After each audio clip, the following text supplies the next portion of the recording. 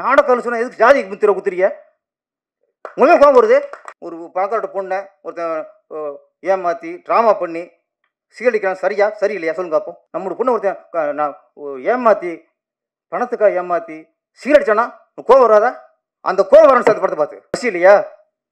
Matter முடிச்சுடு. சரி சரி. அறுபது எந்த ஜாதிக்காரன் இருந்தாலும் சரி அவன் ஒரு பொண்ணை ஏமாத்தினானா அவன் மனித ஜாதி இல்லை அவன் மிருகம்.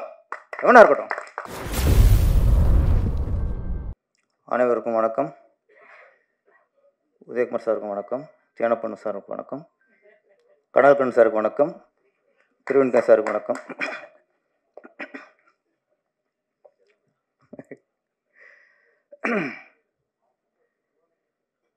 இந்த விழாவில் தொகுப்பாளராக நட்புக்காக தொகுத்து வழங்கி கொண்டிருக்கும் செந்தமிழன் சார் அவர்களுக்கு இயக்குனர் செந்தமிழன் சார் அவர்களுக்கு வணக்கம்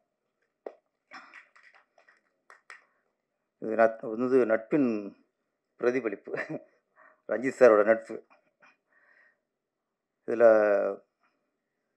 பாடலாசிரியர் எல்லா பாடலும் அவர் தான் இருக்கிறாரு அதுக்கு என்னுடைய வாழ்த்துக்கள்.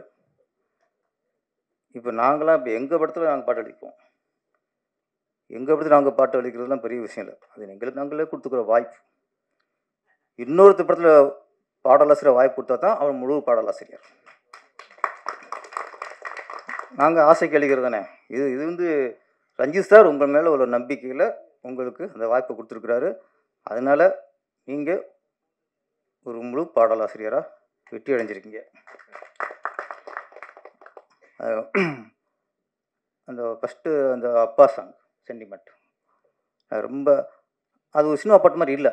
அதில் என்ன அதில் புதுமைனா ரொம்ப ஒரு ஒரு அழுத்தம் கொடுத்து இல்லாமல் சாதாரணமாக ஒரு வில்லேஜில் ஒரு பாற பாட்டு மாதிரி தெரிஞ்சு தவிர ஒரு திரைப்பட பாடலுக்கான இலக்கணத்தை மீறி அழகாக ஒரு பாசத்தின் பதிவு. இசையமைப்பாளருக்கு வாழ்த்துக்கள். அப்புறம் அந்த டியூட் சாங் அதுவும் வரிகள்லாம் சிறப்பாக இருந்துச்சு. அதில் ரஞ்சித் சார் என்ட்ரி கொடுத்தோடனே அவர் அறிமுகம் போது எப்படி இருந்தாரோ அப்படியே இருக்கார். ஆமாம் ஃபேஸ் பளிச்சுன்னு அதே அதே ஒரு மலர்ச்சி அதே ஒரு புத்துணர்ச்சி. அந்த அந்த சிரிச்சம்பம் இவர்கிட்ட பிடிச்சது நடிகரில் கே. ருஜா நடிகரில் ரஞ்சித் சார். அவர் ஒரு ஒரு புன்னகை மன்னன். எங்கே பார்த்தாலும் சரி எங்கே எப்போ பார்த்தாலும் அதில் வந்து ஒரு சோர்வு இருக்காது எப்போவுமே. ஒரு கவலை இருக்காது. அந்த தங்கம் தங்க சொன்னல அது ஒரு ஆ ஆ ஆம்பளை சினேகா ஆம்பளை கேஆர் விஜயா நீங்கள் என்ன வேணால் வச்சுக்கலாம். ஓகே. ஆமாம் ஆம்பளை நயன்தாரா கூட வச்சுங்க இப்போ என்ன இப்போ சொல்கிற சொல்கிறீங்க திருசான வச்சுங்க இப்போ என்ன?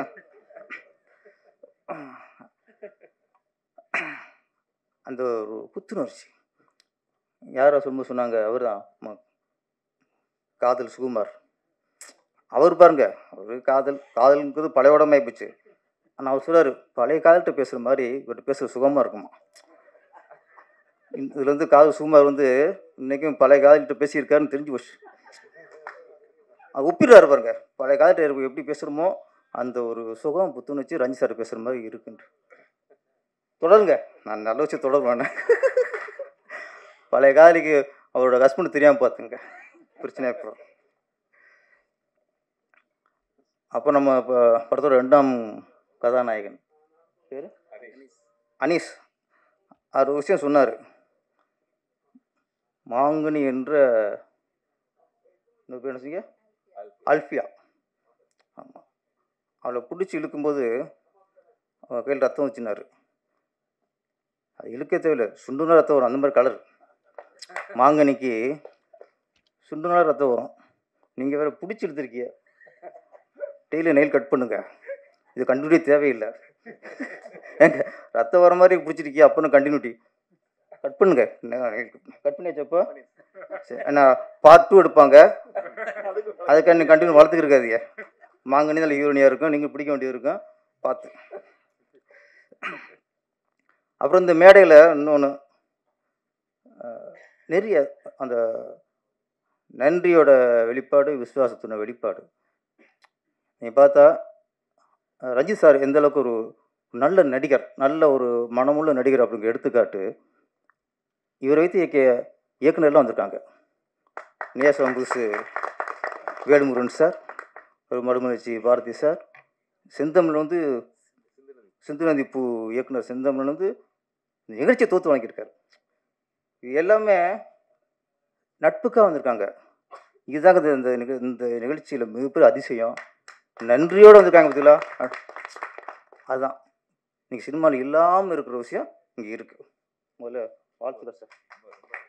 ஏன்னா இப்போ எந்த அளவுக்கு ரஜினி சார் நல்லவராக இருந்தால் நல்ல எண்ணம் உள்ளவராக இருந்தால் நன்றியை மறக்காதவராக ஒரு நடிகராக இருந்தால் இன்றைக்கி நன்றி ஓடு இருப்பதும் பெரிய விஷயமா இருக்குது சினிமாவில். அதோட அதுக்கு சாட்சி அதுக்கு ஆதாரம் தான் அவருடைய இயக்குனர் எல்லாமே இங்கே வந்திருக்காங்க. முதல்ல எந்த நடிகர் தன்னை வைத்து இயக்கிய நடி இயக்குனரை மதிக்கிறாரோ அவன் தான் முதல் நல்ல நடிகர். இல்லைன்னா வெறும் நடிகர் சம்பாதிக்க நடிகர் அவ்வளோதான் ஃபஸ்ட்டு மனுஷனாக இருக்கணும்ல. இப்போ நல்ல மனுஷனாக இருக்கார் நல்ல நடிகராக இருக்கார். இப்போது அடுத்த அவதாரம் இயக்குனர். கரெக்டான நேரத்தை கரெக்டான முடிவு எடுத்திருக்காரு. ஏன்னா இப்போ நிறைய ந இயக்குனருக்கு நடிகர் ஆகிட்டாங்க சப்துகுணி சார் பிஸி ஆகிட்டார் கௌதமன் சார் நல்ல அழகான மென்மையான கதை எடுத்துக்கிட்டாரு. ஆமாம் அது வரேன் அடுத்து. அவர் கௌதமன் சார் அவர் நடிகர் ஆகிட்டார் ஆமாம் தேனப்பன் சார். ஆமாம் கனல் கண்ணன். அவர் வந்து அவர் காவிய நடிகர். ஆமாம் தேனப்பன் வந்து ஓவிய நடிகர். தேன அவர் கனல் கண்ணன் வந்து காவிய நடிகர். ஆமாம் அந்த காவியத்தை விடவே மாட்டார். அந்த இடம் பறி உயரும்ட்டு அந்த காவியத்தை வச்சுட்டு வர பாருங்க. துண்டு போடுறாரு பாருங்க. யாராவது வேற உட்காரக்கூடாதுன்ட்டு. அப்போ எந்த அளவுக்கு அவர் விவரமான ஆளாக இருக்கார். ஆமாம் அதனால் அவர் காவிய நடிகர். நிறைய பேர். இப்போ எங்கள் இயக்க சங்க தலைவர் R. Udhayakumar sir. Call sheet tight ஆகிடுச்சு இப்போ நாளைக்கு நான் பட ஆரம்பித்தா கூட கால் ஷீட் கேட்டு வாங்கக்கூடிய நிலமையில் இருக்கார். அவ்வளோ பிஸி லோக்கல் இருக்கிறதே இல்லை. கேட்டால் நான் பாண்டிச்சேரியில் இருக்கேன். கோயம்புத்தூரில் இருக்கேன். ஹைதராபாத்தில் இருக்கேன். இந்தளவுக்கு சங்க தலைவர் மட்டும் இல்லை. நடிசன் தலைவர் ஆயிடுவார் போல இருக்கும் கொஞ்சம் இதில். அந்தளவுக்கு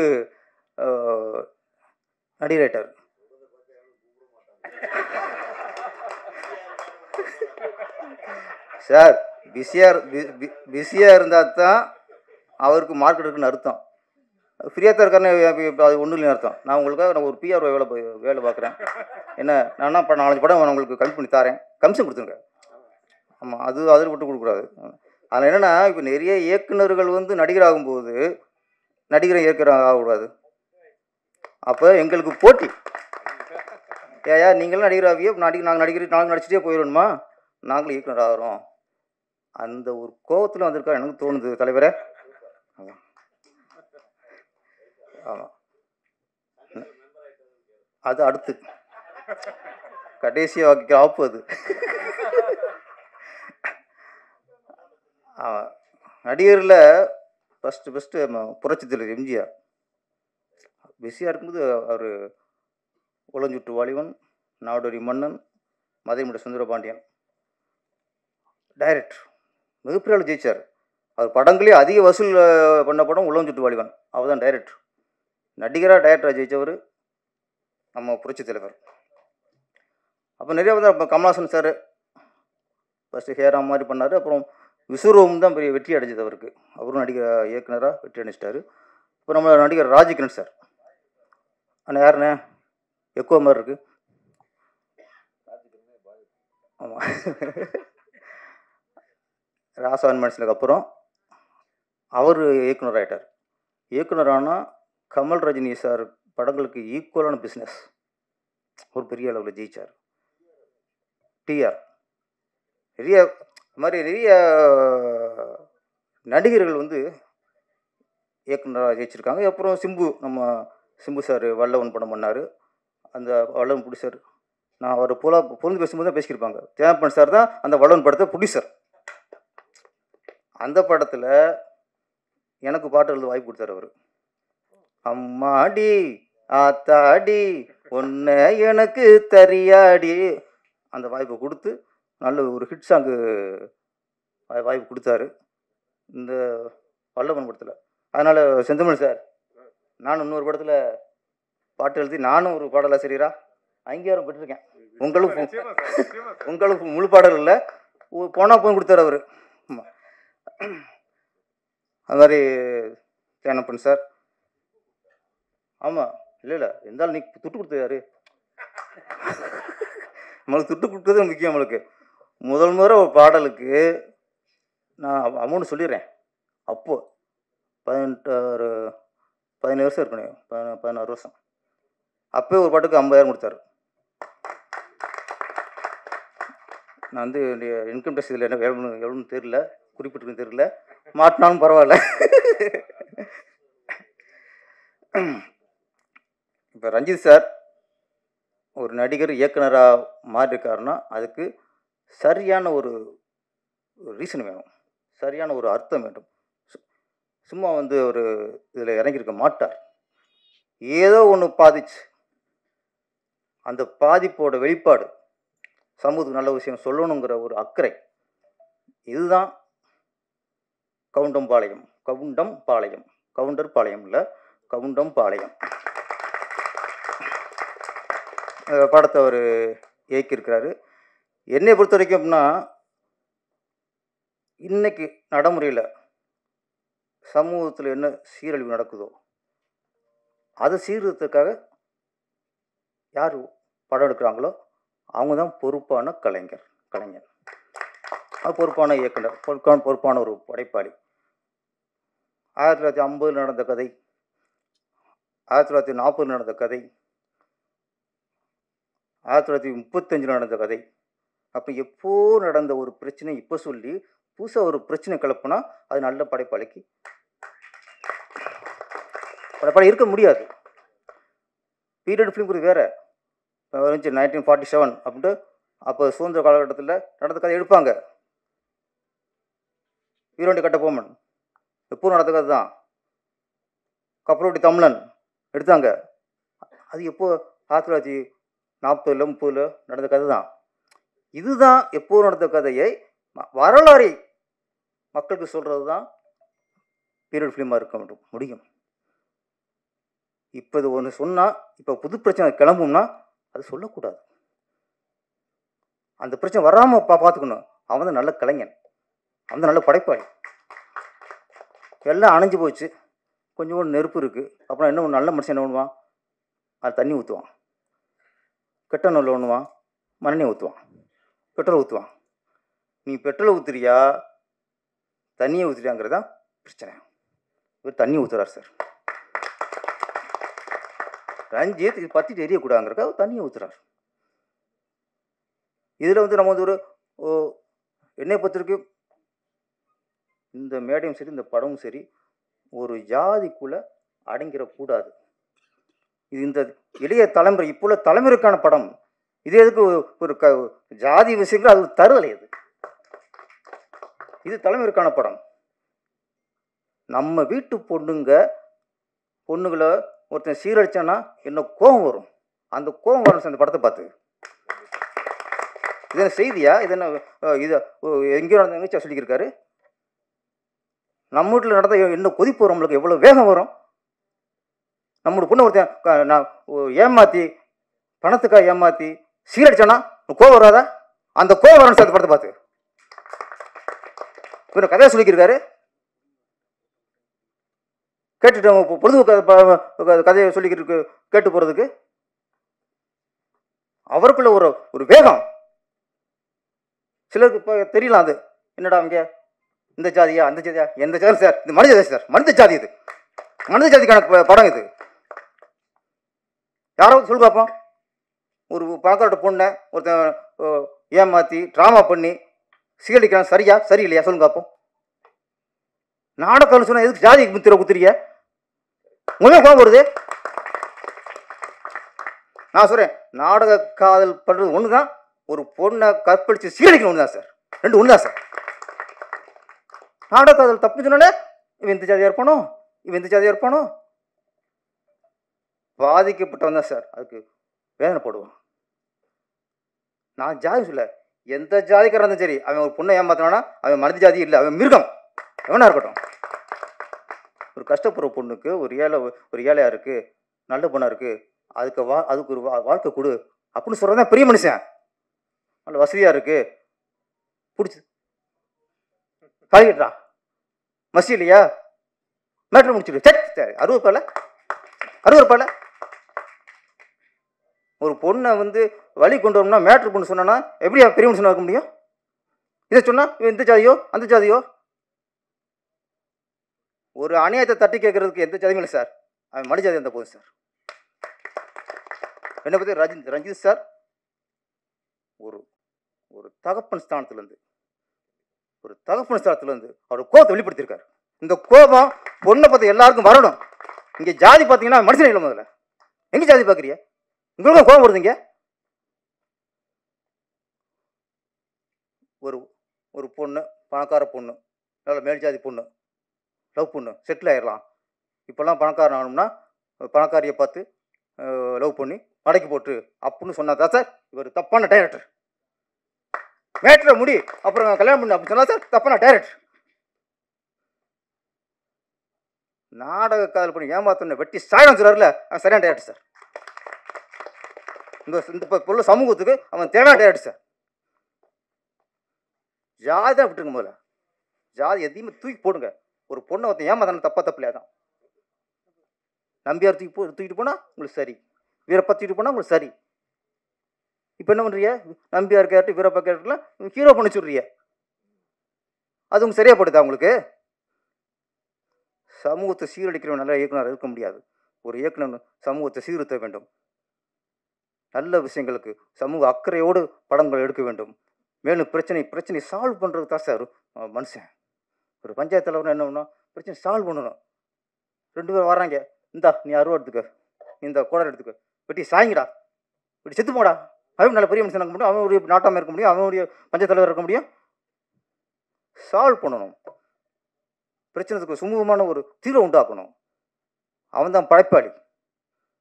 வியாபாரியாக இருக்காதிய சினிமாவில் யாரும் வியாபாரியாக இருக்காதிய உங்கள் வியாபாரத்துக்கு நீங்கள் பிழைக்கிறதுக்கு சைஸ் ஜாதியோ மதத்தை அஹ், சமூக அக்கறை மூலமாக்குங்க இல்லையா? அழகாக பொழுதுபோக்கு பண்ணிடுங்க. தப்பே இல்லை. காமெடி பண்ணிடுங்க. தப்பே இல்லை. ஒரு குடும்பப்பட்டுடுங்க தப்பே இல்லை. கவுண்டம்பாளையம். இது ஒரு பேர் பிரச்சனை இது இது வந்து அரசாங்கத்தோட பிரச்சனை. அப்படி பார்த்தா கோபி செட்டிப்பாளையம் கோபி செட்டின்னு வருது செட்டியாராது தூக்குங்க. எங்கே ஜாதி பார்க்குறியா பிள்ளையார்பட்டி. பிள்ளைன்னு வருது. அது பிள்ளைமார்கள் படம். ஊராது தூக்குங்க பிள்ளையா. அப்படின்னு அப்படின்னு நிறைய நிறைய தெருப்பேரில் இருந்துச்சு தேவர் இருந்துச்சு தூக்குனிய பிள்ளை இருந்துச்சு தூக்குனிய சிதம்பரம் பிள்ளை. நமக்கு வாவு சிதம்பரம் பிள்ளைனாச்சும் தெரியும். அப்படிதான் படித்தோம் வாவு சிதம்பரம் அப்படின்னாங்க. அவர் பா ஒரு பா சிதம்பரம் அவர். சிலருக்கு அந்த அடையாளம் தான் அடையாளம். சாமிநாத ஐயர். சாமிநாத ஐயர்னா தான் நம்ம தமிழ் தாத்தா. சாமிநாதன் அப்படின்னா யார் யார்? யாரு பெப்சி சாமிநாதன் அவரு. தமிழ் சாமிநாதன் புல் ஐயனாத்தான் தான் எங்களுக்கு தெரியும். வாவு சிதம்பரம் புள்ளைனா தான் எங்களுக்கு ஒரு அடையாளம் தெரியும். என்ன பண்ணுறியா கட்டு கட்டு. அப்படின்னா நிறைய இங்கே பண்ண வேண்டியிருக்கு. நாங்கள் லிஸ்ட்டு சொல்லுவோம். சில இடங்களில் வரலாற்று எங்களுக்கு பழகி போன ஒன்றை நீங்கள் அதில் கை வைக்காதீங்க.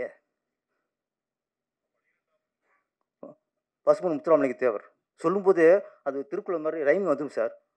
பசுமனாலே பசுமன் முத்துராமலிங்க தேவர் வந்துடும் நீ தேவர்னு சொல்லாத.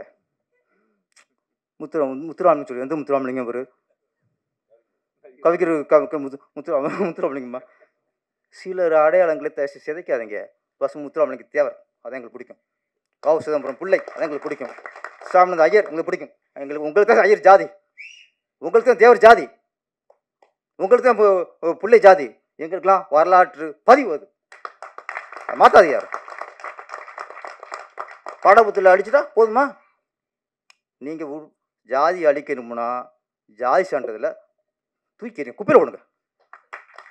அது தூக்கி போடுங்க. படிக்க வர பிள்ளைகிட்டலாம் நீ என்ன ஜாதி? உங்கள் அப்பா என்ன ஜாதி? எழுது. ஆனால் பாடப்புத்தகத்தில் முத்து- மு- பசும முத்துராமலிங்க தேவர் தேவர் கூடாது முத்துராமலிங்கம் ஹவுசு ஆவு சிதம்பரம்.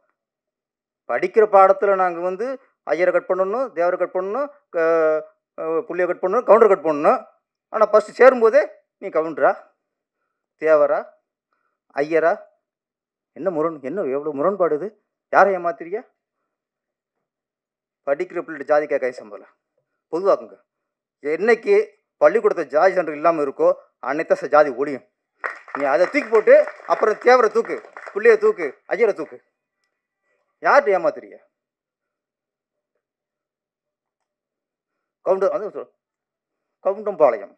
இன்னும் நிறைய ஊர் இருக்குது செட்டியில் சேர்த்துருக்கு பிள்ளை நிறைய ஊராக இருக்குது அது கலைக்கணும் அப்புறம் அப்புறம் கலைச்சிக்கலாம் இப்போது இந்த ப படம் என்னை பொறுத்த வரைக்கும் நான் ட்ரெயிலர் பார்த்தேன்.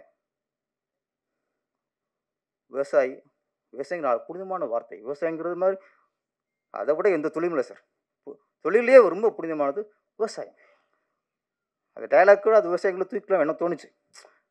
விவசாயம் பண்ணுற வயிற்றுல விவசாயம் பண்ணுங்கிறது அவுத்து விவசாயம் பண்ணுறது அது விவசாயங்கிற வார்த்தை தப்பு. எனக்கு வரைக்கும் அது அது வார்த்தை வரக்கூடாது. என்ன அது அது நம்ம வந்து இவ்வளோ பேசுகிறோம்ல கொஞ்சம் குறை சொல்லிடணும். நான் விவசாயங்கிறது நம்மளோட உயிர் சார் அவனுடைய மூலதனம் சார்?